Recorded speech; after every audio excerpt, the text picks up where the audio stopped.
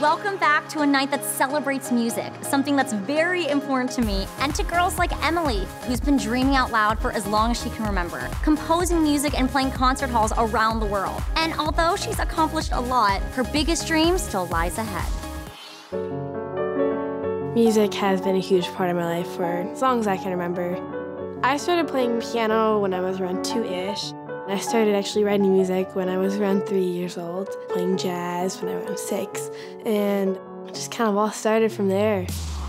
Music has changed my life in every possible way. It's taken me all over the world, Korea, Japan, China. I played at the White House. It's incredible, you know, working, but you're just doing what you love.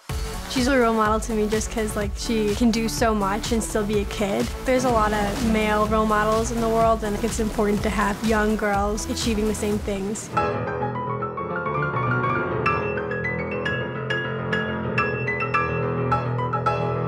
My big dream is to write music for movies because there aren't a lot of girls in that field. So I feel like I just want to break those boundaries and inspire other young girls to follow their dreams.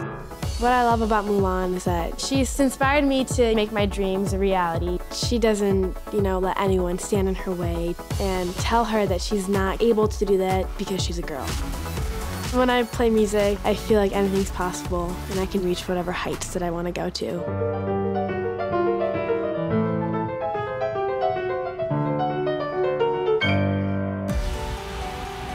Every single person has that one special something they have a passion for. I say find that one thing and follow it. Do whatever you can to not let anyone get in your way. Emily's incredible, and I'm excited to collaborate with her and cover one of our favorite Disney princess songs. Stay right here as Dream Out Loud continues.